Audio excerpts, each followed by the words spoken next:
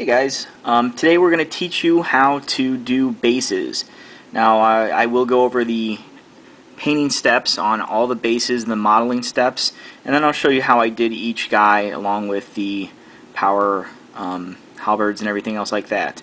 So the first thing we're going to do is we're going to start off with a base. So I'll show you that in just one second what you're going to need. Alright, for this part I'm going to show you the model I'm going to be using for the base. Just a simple conversion. Um, I do have spray paint on my hands. I do apologize for that. But uh, this will be the chaplain and he'll be my grandmaster for the actual um, um, army that I'm going to be doing. Now for the base, for the lava bases, what we're going to be using is a wood chip. So let's get this guy out of the way. Just a simple wood chip right here. Nothing special about it. Now this is actually maybe a little bit too big.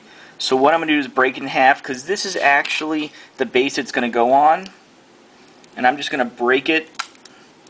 And this will add a little bit more definition and then you can put more things in onto it. This is the other piece. Maybe you'll get a little bit more lava here. And then what you can do to break it down is just take off the little bits and pieces right here. And then you'll notice it's sort of uneven. What I do is I take it outside and use the just the standard cement, like a sidewalk or something like that, just rub it down, and it'll actually act as a little bit of sandpaper. So this is what this is, and I've already got one painted up, and I'll be right back to show you exactly how we're going to make this turn into this. Alright, the first step to this is we're going to mix a little bit of, I've got ultramarine blue and the black, and we're just going to dry brush it on. Nothing too fancy because this is just the first layer.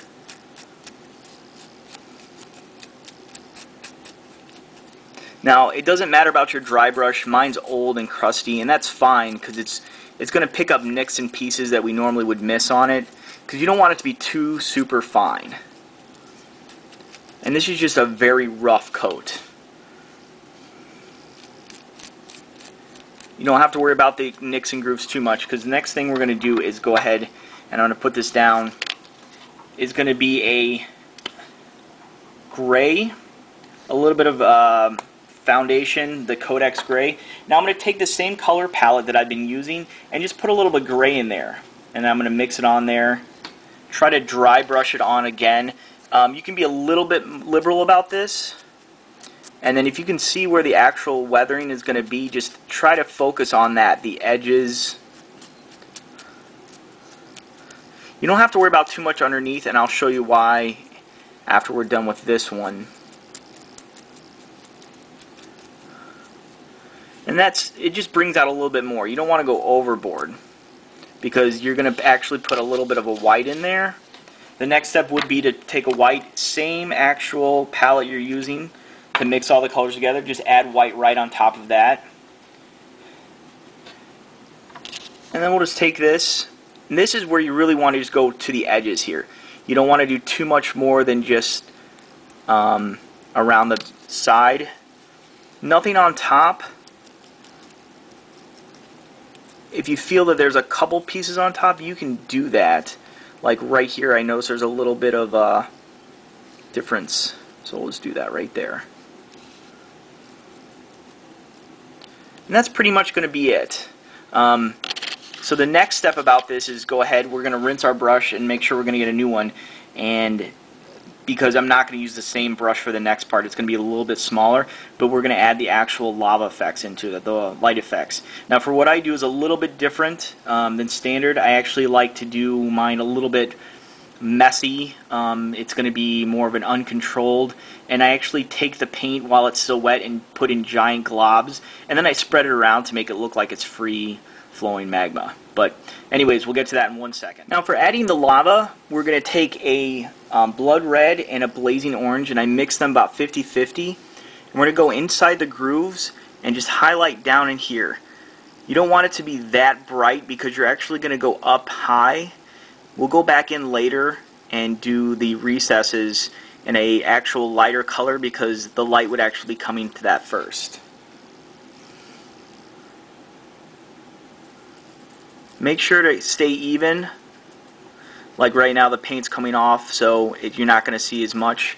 So make sure you keep your brush pretty decent. You don't want to dry brush it so much as maybe a little bit of uh, putting on there a little wet.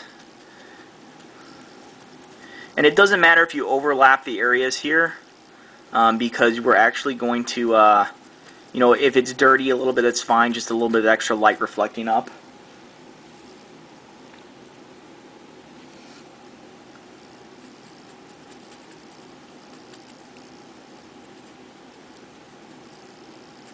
And for these, I'm using just a standard um, Games Workshop fine brush. Um, I use them for a little bit of my dry brushing and just putting on base coats. I don't actually use the detail with them, even though they're a detail brush. So that's where that looks. Nothing over the top. The next step we're going to do is just a standard blazing orange. And this is going to be a lot brighter. And then you want to be actually be closer to the bottom here. You don't want to go up as high, just more in the recess.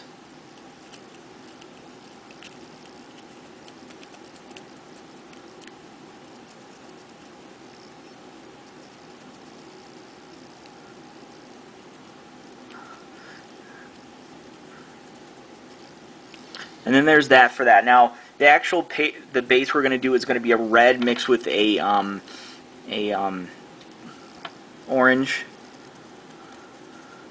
That right there. Now you don't have to clean your brush for this one because it's going to be mixed in regardless. Now I'm going to put this on pretty liberally and I do go over the base a lot because I go back over with a um, black to cover it up. So if you get some on the edges it's not a big deal.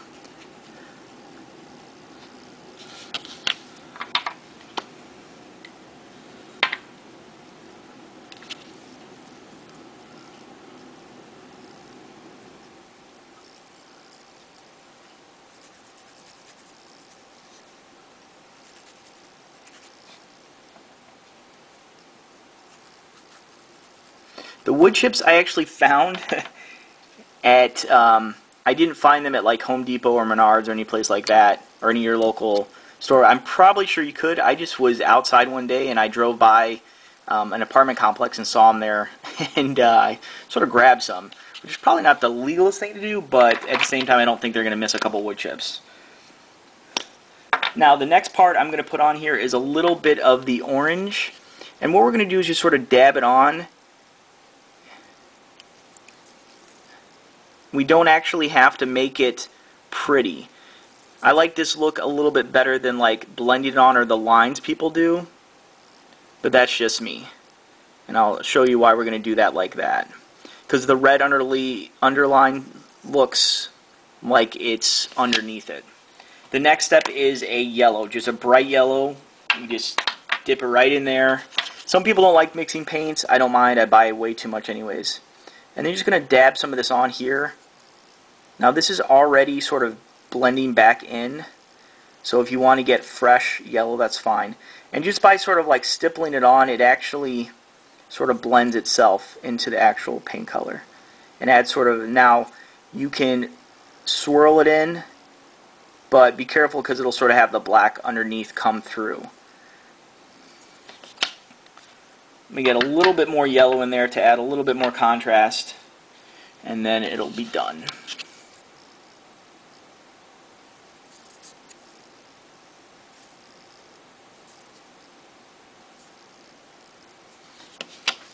The last step would be to clean up, which I'm not going to do for you.